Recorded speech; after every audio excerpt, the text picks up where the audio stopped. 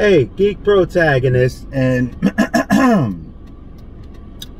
there's something that after reading that uh, Captain America comic, which I will review, um, what I read, how I feel, what I thought, those different things. There's something that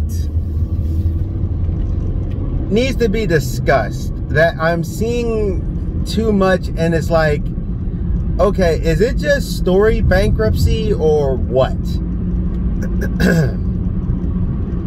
so quick synopsis Captain America's in a dark room disillusioned by America and they're talking about all the current events and all this stuff and you know the same old same old which I'm like you don't need to do current events if it's something small because it opens up another problem. Because then it turns into, well, if you're going to use current events here, as in why, you know, they are not going to stop this or why wouldn't these heroes have stopped the Capitol storming or any of the other craziness. It, it starts to get very convoluted very quickly. But then you think about the other thing that people need to kind of wrap their heads around. When people talk about stuff being po political, woke, whatever, it's usually a, a problem not because of the the politics, it's how they're portrayed. There's a difference between oh Captain America sitting there talking about you know Donald Trump and junk like that versus Captain America doing something trying to fix things now in in the story like I said I'm not really going through it right now I'm just giving you a quick idea because it's not just Cap it's just this is the most recent one that made me think about it they always have it.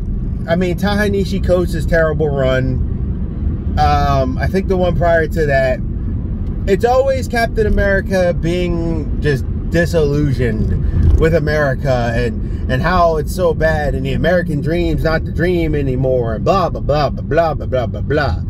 And I'm like, you know,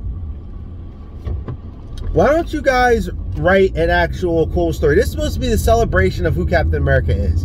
And I can already tell you what's probably going to happen is he's going to see a bunch of people from different races and different walks of life somehow miraculously reinvigorate him to be Captain America, even though his shield got stolen because he got ambushed and somehow. And okay. And then they, they, they grab each a different person from a walk of life to specifically make sure that does it. Uh, they got the Captain Genitalia, and they got the guy of the unhoused. No, they're homeless. I, I, don't. I've decided I don't subscribe to certain things if I don't care. It, it the person's homeless, they're homeless.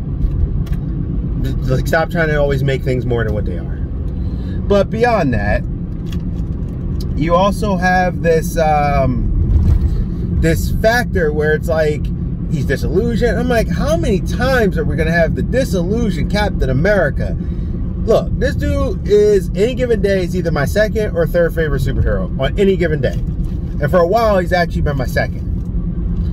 And it's like, all right, so why don't you, if you're going to celebrate Captain America and you want to show how he inspires people, so you have these people dress in versions of him, and then you got a a, a, a Native American person because they're gonna want to be like you know Captain America, the representation of the guy uh, or the guy who represents the people that stole their land. Sure, why not?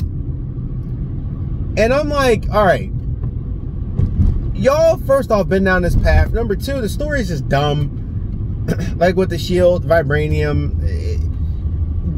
All right, this is how you, you you do a Captain America story celebration if you want him, I mean, this is my opinion. Y'all can say I'm wrong.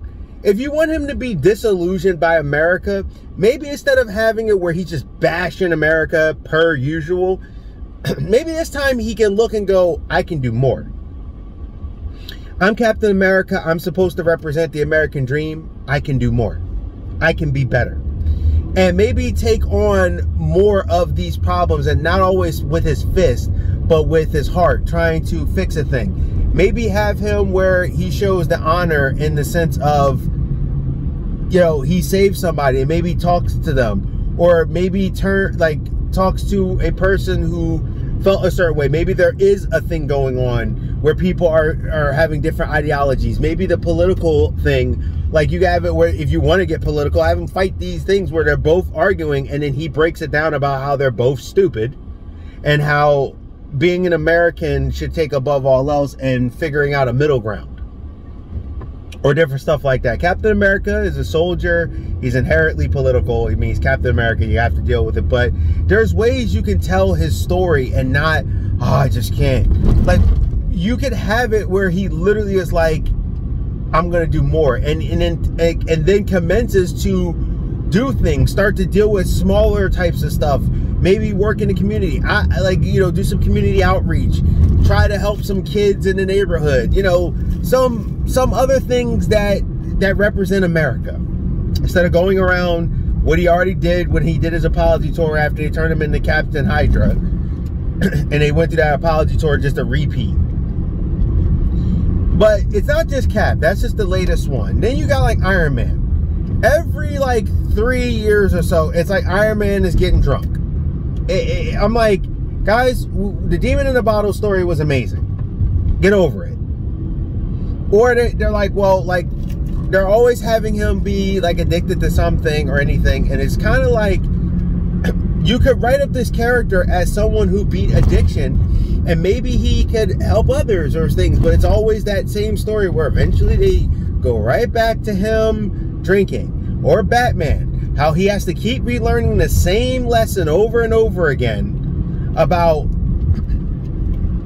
you know being um, working with his teammates being a better person it, i don't it's weird like it's like these characters are trapped and then you'll see sometimes the professionals will sit there and be like, well, don't you, people need something different or, or this familiarity. It depends. They'll either say the familiarity is what people go for, but then if you get something like, I don't know, let's say the Wildcats thing, right? That they, they got announced.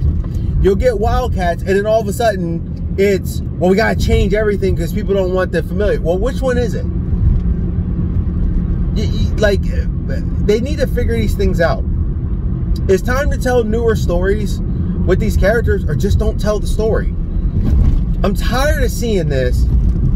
It's already a bad story as is. And then you just got Captain America lolling on. I mean, it was like a it was like a CNN thing or or or something. Of just like how bad America is. And I'm like, dude, this is supposed to be Captain America celebration. You've already had the story. Literally, the previous person writing his story that should never have even touched that character for his belief system of what he thought of uh, September 11th. He should have never even sniffed that character or Superman in any capacity. Yet they do because they're dumb. And it's like, if you want him disillusioned by the chaos that's going on, well, you could play it up like, hey, you know what? We're always fighting these things, these cosmic threats maybe it's time for Captain America to start helping out America. And you can have him do that. And then you could have it where there are people who are inspired by him. Maybe just to be in the community, not dress up and try to do it like how all of a sudden that guy picked up a trash can lid and now he, he can fight like Captain America. Like, it, uh, oh my goodness. It's like, I, I know I'm rambling, but it, it just seems like Batman's always dealing with the problem with his parents. And then he's dealing with having a family. Then they get it all together. Then it goes back to Batman not trusting his family again. And do it, it I remember Arrow for a little while kept doing this thing where they kept keeping secrets. And after like three seasons of it, and I love Arrow. After three seasons, it was kind of like, uh, okay, guys, have you not learned the lesson yet that this secret keeping doesn't work? It just doesn't?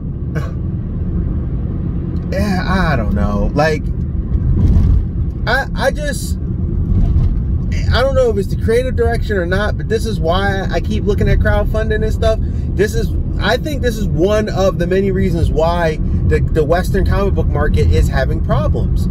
They're repeating the same stories or they're radically changing. They go to one extreme or the other. Like, how many more times are we going to have Captain America disillusioned with America? How many more times are we going to try to have Tony have a problem with drinking and and Batman and, and it's like uh, other characters or weird things that happen with like uh, like with like they have the Peter Parker Spider-Man look. Yet they still find a way to freshly take it. Like what we saw with Venom with Donny Cates, that was fresh, that was new, that was different. And I'm not saying everything has to be so, but when someone kind of beats that thing, Captain America, you know, kind of having him downplay America all the time is kind of goofy since, you know, he's wearing the American flag as a costume. Can we please stop doing that? I mean, I know this may not be the most interesting video, but I'm just, I'm just over it. Like, just over it, man. Like some of these characters are just doing the same thing over and over again. And I'm like, yo, you could do a different story. You could do a different take. I mean, I, I don't know. You, you guys tell me what y'all think. You know, what, do, what do you think about it? Like, do, do, do you feel like superheroes, a lot of them are kind of going on that, that uh, hamster wheel? And like I said, it, it's not the only, it, it, they're just the three that really poke out for me. I'm not saying it doesn't, and I'm not saying the right writer can't fix them. But I mean, X Men, for whether you love it or hate it, at least this is very different from everything they've done before. And they still, like, you can still tackle a subject from multiple angles. You want Captain America to fight racism? Okay, that's great. You can attack it from maybe he's trying to help mutants or maybe he's trying to do equality. Like, no, America is supposed to be about equality. so I'm going to help with anything I can to make that happen. Just so many different ways you could do this. And it's like they pick the laziest, repetitive ways. Or if you want Tony to learn a new lesson because you, you need Tony to learn a new lesson, maybe with his ego or something. I, like have him fight a thing. I don't know. I'm just saying. I'm just kind of sick of the, the repeat stories, and I think that's a huge reason, among many, as to why we're running into character like people just not being as interested in characters. Well, y'all tell me what you think about it. This is something that was on my brain. I'm kind of just rambling here.